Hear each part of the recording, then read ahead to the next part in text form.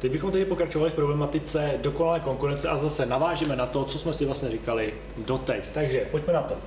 Teď vlastně, když máme tu dokonalou konkurenci, tak teď už musíme začít odlišovat, že ta dokonalá konkurence se vlastně dělí na dvě období. Na krátké období a takzvané dlouhé období. Ano? Krátké období a dlouhé období.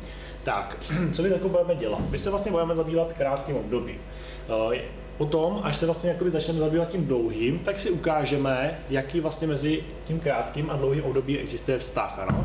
A nejdřív si musíme probrat to krátké a až potom u toho dlouhého si to ukážeme, jaký vztah mezi tím existuje.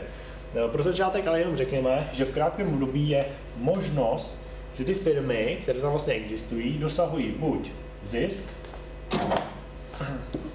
ano, buď zisk, anebo ztrátu. V dlouhém období všechny ty firmy, které vlastně v té dokonalé konkurenci jsou, budou dosahovat nulový zisk. Ano? My si potom vysvětlíme, proč to tak je. Ano, až budeme řešit dlouhé období. Ale teď pojďme na to krátké období, kde se teda můžeme dosahovat zisk anebo ztrátu. Ano? Tak, pojďme na to. Tak, krátké období. O co jde? Co v podstatě už tak nějak známe. Známe tenhle ten graf. Tady máme Q množství, P cena. Ano, tady je nějaká cena P1, která je pořád stejná. Tahle ta čára vlastně znázorňuje nejenom tu cenu, ale taky poptávku, mezní příjmy MR a průměrné příjmy AR. Pak tam vždycky hodíme MC a najdeme tenhle ten bod, kdy MR se rovná MC. Ano, to je bod takzvaného max, takzvaného to je bod maximalizace zisku. Ale my jsme říkali, že sice se tomu říká bod maximalizace zisku, ale to neznamená, že v tom bodě musíme dosahovat zisku. Taky můžeme dosahovat nulového zisku nebo třeba ztráty. A my teď jakoby řešíme hlavně to, kde jsme v krátkém období, jak jsme říkali, tam se může dosahovat zisk nebo ztráta, tak řešíme, jestli v tomhle bodě dosahujeme zisk nebo ztrátu. Ano, to je za druhé. Musíme teda najít ten bod, MS má MC, to je za prvé, a za druhé vyřešit, jestli v tom bodě je zisk nebo ztráta. Ano, to jsme si říkali, že vlastně děláme tak, že porovnáváme to P a AC. Ano, že když to AC je vlastně takhle pod tím, tak je to zisk, a když je takhle nad tím, tak to je ztráta. Jo, to, tím jsme se jakoby zabývali v minulém videu. Otázka je, že když zjistím, jestli to nebo ztráta, řeším ještě něco dál. Jo, řeším ještě něco za třetí. No bohužel ano. Ale jako musíme vlastně ukázat, co jakoby ještě dál vůbec můžeme řešit. Jo? Co v podstatě to jakoby, jo, o čem ještě můžeme jakoby rozhodovat, jo, takže půjdeme na to. Pořád od teď prostě jsme v krátkém období, ano, jo, takže v tom krátkém období musíme řešit takzvaný bod ukončení činnosti.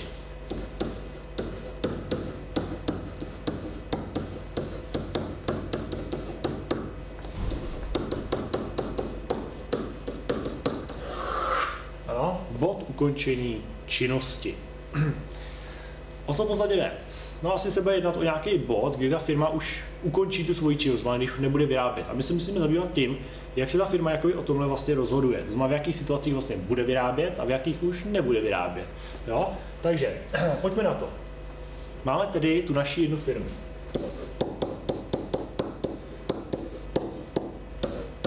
Ano, tu, si, tu jsme si, tu si jako budeme zobrazovat zase tím naším grafem, jako jsme to dělali před chvílí. Jo?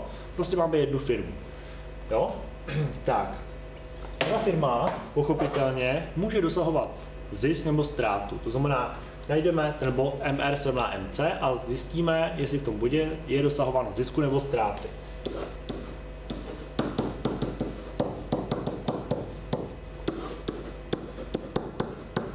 Ano? To je to, co první budeme potřebovat.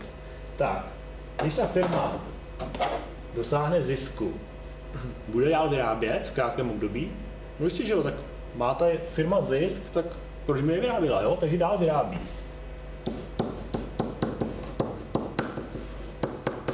Otázkou je, když má ztrátu, vyrábí dál nebo nevyrábí? Spousta lidí by mohla říct, no, tak když má ztrátu, ne, tak asi vyrábět nebude. Jo, ale to není pravda. Ono totiž právě, když má ztrátu, tak musíme řešit právě takový bod ukončení činnosti, nebo také se tomu říká kritérium variabilních nákladů. Ano, a pokud toto kritérium variabilních nákladů neboli bod ukončení činnosti, ta určitá podmínka, kterou si odvodíme, pokud bude splněná, tak ještě dál vyrábí. Má ztrátu, ale ta podmínka, pokud bude dál, pokud bude splněna, tu, kterou, tu podmínku, kterou si odvodíme, to znamená ta, to kritérium těch variabilních nákladů, pokud to bude splněno, tak když má ztrátu, tak dál vyrábí. Pokud má ztrátu a ta podmínka, to kritérium variabilních nákladů nebude splněno, tak už dál nevyrábí.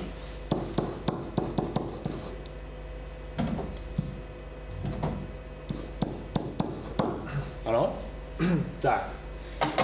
To znamená, jak řečeno, když firma má prostě v krátkém období zisk, tak dál vyrábí. To znamená, tahle situace nás nezajímá. Jo, prostě, když ta firma má zisk, tak prostě vyrábí, tam nemáme co zkoumat. Jo?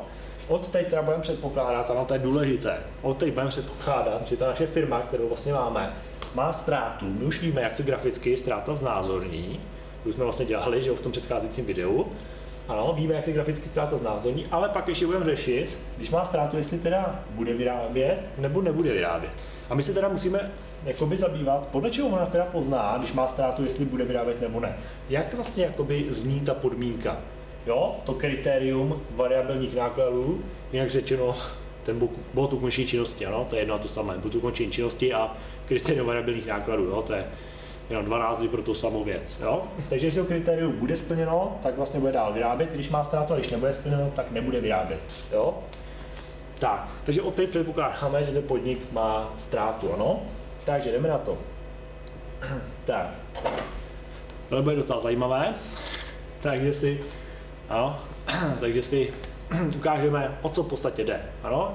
To znamená, ukážeme si vlastně jako ten bod ukončení činnosti, respektive to kritérium variabilních nákladů, ano? Takže jdeme na to. co budeme potřebovat? My v podstatě teda víme, jak se vypočítá zisk. Zisk se vypočítá jako TR minus TC.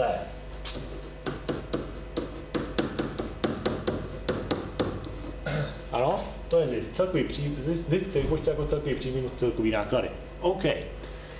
Teď. My nám dále o to, že jsme si říkali, od teď předpokládáme, že je ta firma ve ztrátě, protože situace se ziskem nás nezajímá. Ano, takže firma má ztrátu, Jinak řečeno, co znamená ztráta? Jo, to znamená ztráta, vlastně znamená, že ty celkový náklady musí být vlastně větší než ty celkový příjmy, jo. Jak řečeno, jo, můžete to napsat, TR je prostě menší než TC. Ano? TC, pokud celkový příjmy jsou třeba 100, ale náklady jsou třeba 120, tak 100 minus 120 je minus 20, takže jsme ve ztrátě minus 20, jo. No, takže pokud celkový příjmy jsou 100 a celkový náklady 120, to má celkový příjmy jsou menší než TC, než celkový náklady, tak máme ztrátu. Jo? Tak, my už ale taky víme, když jsme se zabývali náklady, když jsme v krátkém období, z čeho se ty TC vlastně skládají?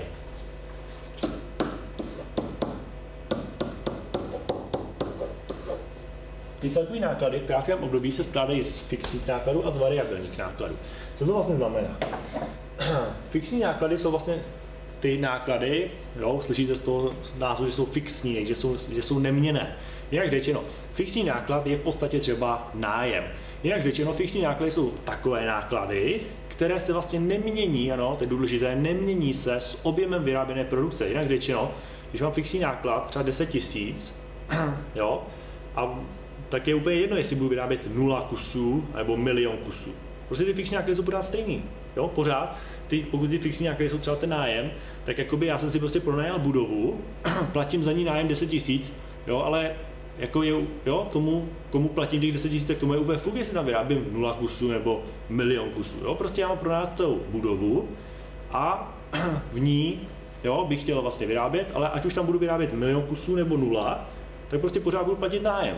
Že jo, třeba 10 tisíc. Řečeno, prostě, jak jsme říkali, prostě ať vyrábím jakýkoliv množství těch kusů, tak ty fixní náklady ty prostě jsou pořád na stejném místě. Jsou pořád 10 tisíc, ty se nemění. Ano?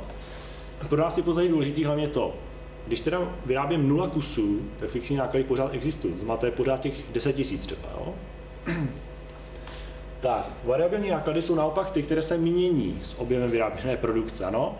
Zase, jak jsme si říkali, to znamená, když v podstatě chci vyrobit jeden kus, jo, tak pochopitelně na něm mám nějaký náklady, že jo, potřebuji třeba nějaký materiál. To znamená, pokud na jeden kus mám náklady 10 korun, když chci vyrobit jeden kus, tak mám náklady 10 korun. A to jsou ty variabilní náklady. Když dva kusy, no tak na každý mám náklad 10 korun, takže je 20 korun celkově, že jo, ty variabilní náklady. Jo, tři kusy, 30 korun, 4 kusy, 40 korun, 5 kusů, 50 korun a tak dále, a tak dále. To znamená, čím jsou vlastně jakoby čím vyrábím větší množství výrobků, tak tím vlastně mám ty variabilní náklady, třeba ty v podobě toho materiálu vyšší, pochopitelně. Jo? Jak řečeno, ty variabilní náklady se tedy mění s objemem vyráběné produkce. Ano? A když sečteme ty FC a VC, tak dostáváme TC, ano? Jsou tyhle ty. Jo? To TC tady.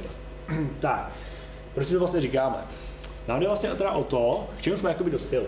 Dospěli jsme k tomu, že těch variabilních, když vlastně vyrábím 0 kusů, tak nemám žádný náklady na výrobky v podobě třeba materiálu, takže variabilní náklady jsou nulový. Když, nevy, když vyrábím 0 kusů, nebo respektive nevyrábím nic, tak mám variabilní náklady nulový.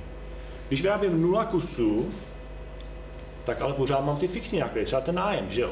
Pořád musím platit ten nájem, že jo? Jo, za tu budovu. Co to teda znamená?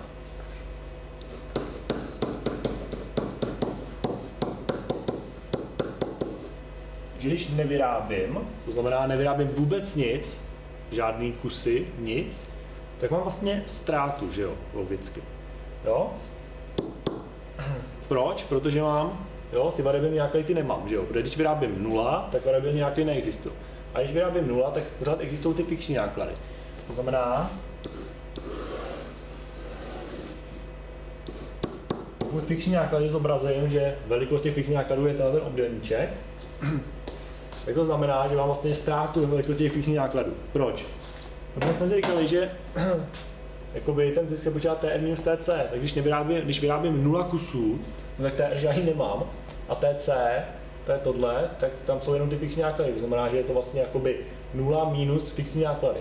Jo, takže je to minus fixní náklady, jo, to ztráta je vlastně ve velikosti fixních nákladů. Jo? Tak. Jo? Tak. A teď bude ale o to. Když jsme ve ztrátě, znamená TR jsou menší než TC, ano, tak jsme sice ve ztrátě, ale co když za takovéhle situace, kdy TR jsou menší než TC, bude ale platit, že ty TR jsou větší než variabilní náklady. Ano, co to znamená? To znamená, že tady zase máme ty FC, to jsou stejně jako tyhle, ano, ale ještě tam máme jakoby ty variabilní náklady.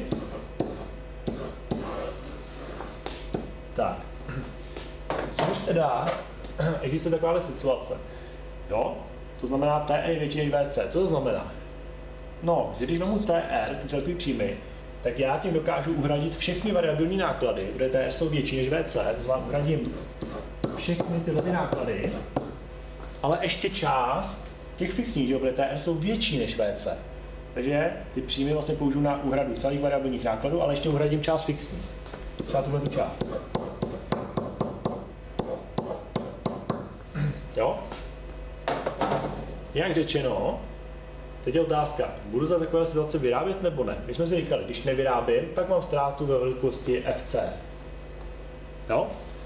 Když ale budu mít ztrátu, to znamená TR bude menší než TC, ale zároveň mi platí, že TR jsou větší než VC, ještě variabilní, tak mám pořád ztrátu, ale ta ztráta už je jenom takováhle. Co je teda lepší? Nevyrábět a mít takhle velkou ztrátu, anebo vyrábět do takovéhle situace, mít pořád ztrátu a tu, tu ztrátu mít jenom takhle malou. No tak za takovéhle situace je lepší vyrábět, ne? Protože tahle ztráta je menší než tahle ztráta. Jo? Takže za takovéhle situace vyrábím. Jo? Vyrábím. Jo? Pokud je splněný tohleto TR je větší než VC.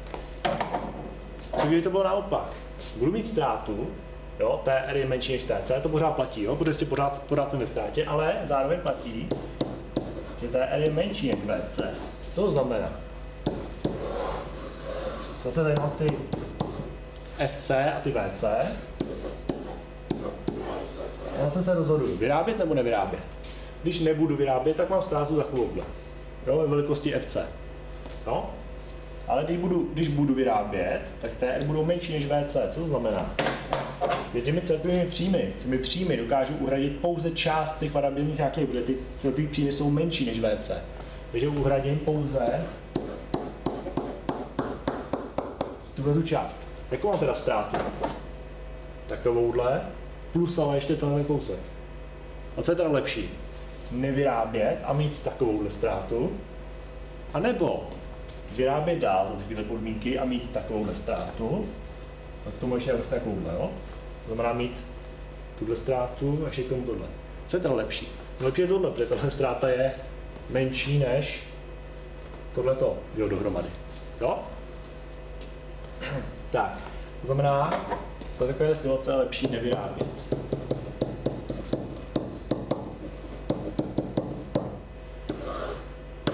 Jo?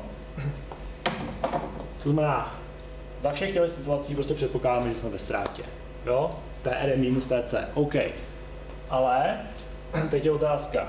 Když prostě jsme sice ve ztrátě, ale TR je větší než VC, tak porovnávám. Když prostě nebudu vyrábět, tak budu mít takovouhle ztrátu. A když budu vyrábět, tak těmi TR uhradím celé VC, ale ještě něco navíc, to znamená celé VC, ale ještě něco z část, ještě část těch fixních. A budu mít jenom takovou ztrátu, to znamená, tadyhle je lepší vyrábět, že jo. Když vyrábím, mám takovou ztrátu, když nevyrábím, tak mám takovou ztrátu. Jo? A tady je ta ztráta menší, tak je lepší vyrábět dál. Jo? Na druhou stranu, když ta RF je menší než VC, jo, tak to vlastně znamená, že zase teda pořád mám pochopitelně ztrátu. TR je menší než VC, že těmi TR vlastně pokryju pouze část těch VC, takže mám ztrátu. Ty fixní plus ještě tohle. A co je lepší? Mít teda nevyrábět a mít takovouhle ztrátu ve velikosti fixních, anebo vyrábět za takové situace, mít ztrátu ve velikosti fixních plus ještě kousek. Tak je lepší nevyrábět, že? ta ztráta tady je menší než tady. Jo? Tak. A pro nás je právě z toho důležitý hlavně tohleto. To znamená, TR je větší než VC. Ano? Tak. Tady jenom ještě doplním, ono se tadyhle někdy ještě jakoby kreslí, ještě se tam doplňuje, že TR musí být větší nebo rovno VC. Co by znamenalo, kdyby TR bylo rovno VC? Takže ty, ty mi TR pokryjí jenom to VC, jenom tohleto, takže budu mít ztrátu ve velikosti fixních nákladů. Což je úplně to samé, jako jim nevyrábím. Že? Takže prakticky v té situaci by, by, by, mi bylo úplně jedno, jestli vyrábím nebo ne.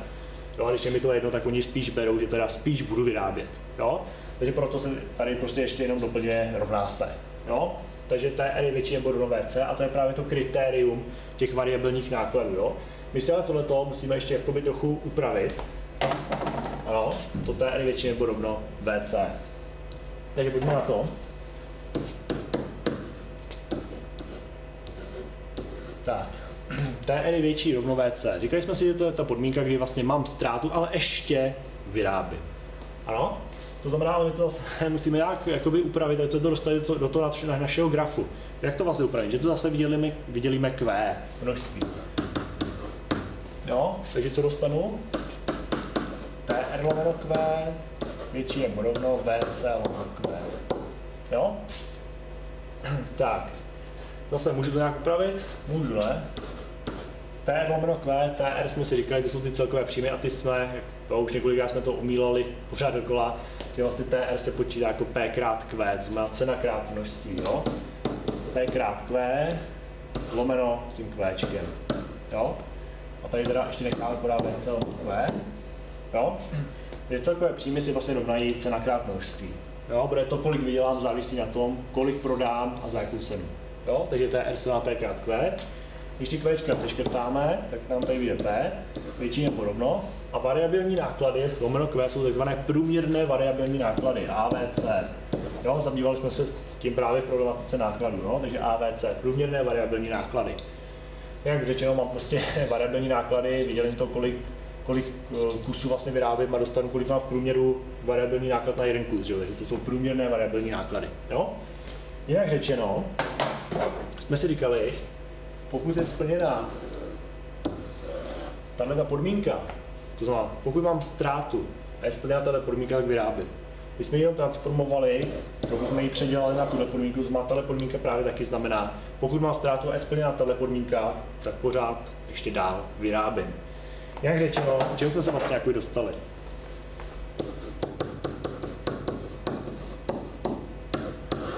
Jo, jak jsme si kreslili na začátku. Řešíme jednu firmu. Tam může být buď zisk nebo ztrátu.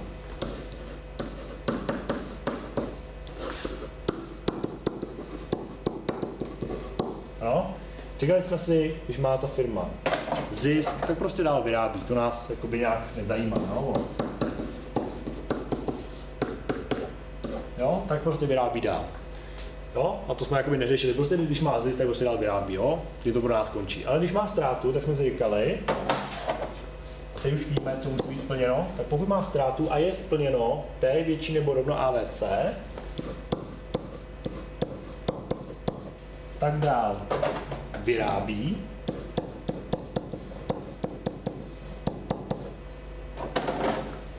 No a pokud to není splněno, jo, jinak řečeno, když P není větší nebo rovno AVC, jinak řečeno, když P je menší než AVC,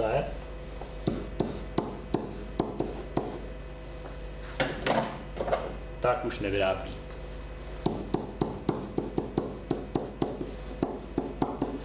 Jo, má nevyrábí, zabalí to a asi končí. Jo? V tomhle odvětví. Jo, prostě něco jako, dalo by se říct, že prostě zkrachuje. Jo? Tak. Jo, nevyrábí. Tak.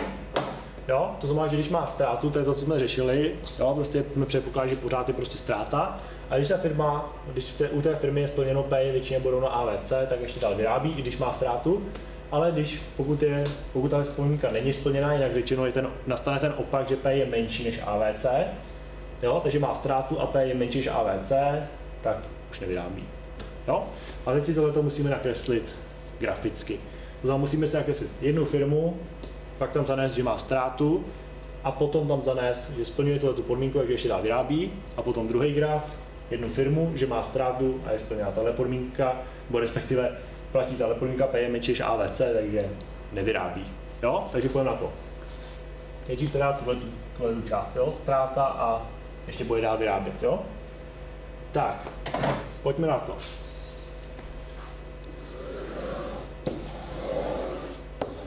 No, teď máme Q, množství, P, cena.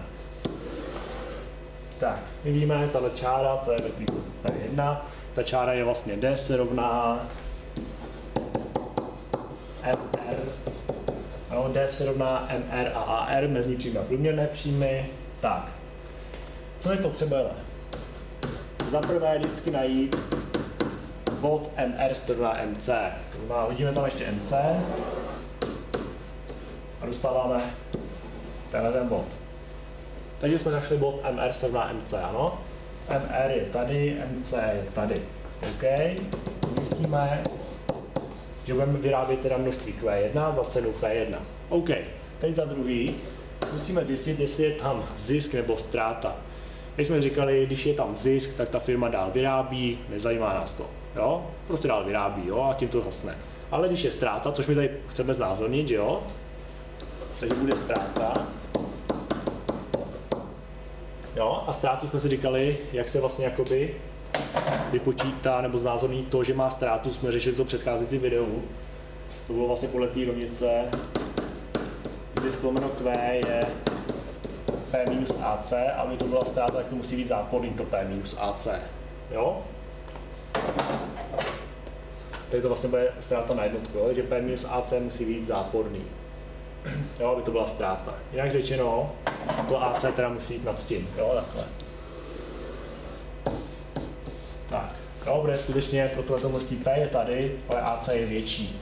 Takže když budeš tu P minus AC, P minus AC a AC je větší, tak mi vyjde zápor, jo, a to je ztráta, jo. Takže teď vlastně máme v tom grafu zachyceno, že je ztráta. OK. Ale teď nás právě zajímá to, co jsme teď řešili, jestli je splněna podmínka P je větší nebo rovno AVC. A teď to musíme zachytit, aby ta podmínka P větší nebo rovno AVC byla splněna a tím pádem ta firma má ztrátu, ale ještě vyrábí. Jak tam teda dostanu P je větší nebo rovno AVC? Jak vlastně vypadá AVC? AVC vypadá úplně stejně jako AC, akorát je to pod tím. Jo? To znamená, my potřebujeme, aby P bylo větší nebo rovno AVC. Jak tam to AVC hodím? Třeba takhle, jo? je to taky prostě takový účko. Jo?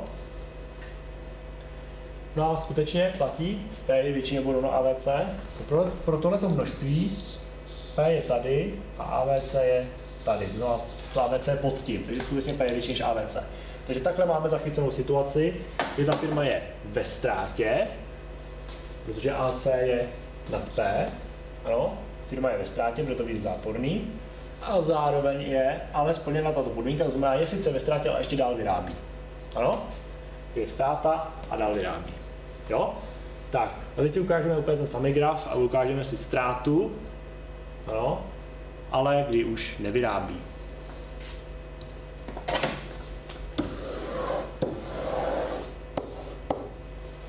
Jo, Q, P. Jo, cena, množství, zase klasika, jo. Takže P1,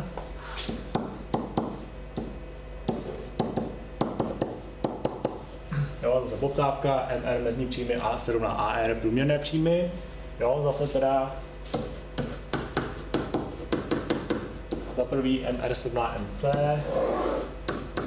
hodíme MC, najdeme bod, MR se rovná, MR se rovná MC, to je v tomhle bodě, jo, tomu odpovídá nějaký množství, Q1, tak, takže budeme prodávat Q1 zase do P1, teď otázka má zisk nebo ztrátu, my teda potřebujeme zase, aby měla ztrátu, že ta firma.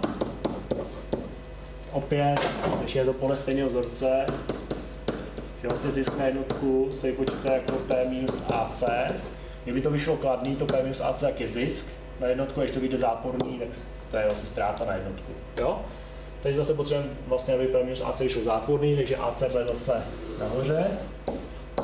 No, zase pro tohleto množství P je tady, ale AC je větší, takže P minus AC, AC je větší než P, takže to skutečně vyjde záporný, to znamená má ten podnik ztrátu, to znázorníme takhle. A teď ještě chceme znázornit, že ten podnik nevyrábí, to znamená, musí, musí jakoby platit podmínka P je menší než AVC, jo? Takže kdyby platila podmínka P je větší nebo rovno AVC, kdyby ten podnik vyráběl, to by bylo to samé jako předtím, ale my potřebujeme, aby byl vlastně aby platil opak, to znamená P je menší nebo do, menší než AVC, no? P je menší než AVC. Takže kam ty AVC vlastně napíšu? Nebo nakreslím? 8. Jo, prostě nad to. Jo, nad to P. Jo, proč? Když se na to podíváte, tak skutečně P je zase, P je tady pro tohleto množství, ale AVC je větší. Jo, takže AVC je skutečně větší než P, jinak řečeno P je menší než AVC, menší AVC, takže to znamená to, že tohle to znamená, že firma má ztrátu a už nevyrábí. Jo? Tak, a to bylo vlastně jako to kritérium variabilních nákladů. Ano, to znamená, to TR je větší nebo rovno variabilní náklady. Jo? A potom v podstatě jsme si jakoby teda ukázali, nebo jak jsme vlastně tu podmínku TR je větší nebo rovno eh, VC, tak jsme vlastně jako předělali na P je větší nebo rovno AVC. Jo, a to jsme si vlastně zanesli do grafu. Jo? V jednom případě P je větší nebo rovno AVC, to znamená firma má ztrátu a pokud je to P větší nebo rovno AVC splněno, tak ještě dál vyrábí, pokud ale má ztrátu a P je větší nebo rovno, AVC není splněno, to P je menší než AVC, tak už nevyrábí.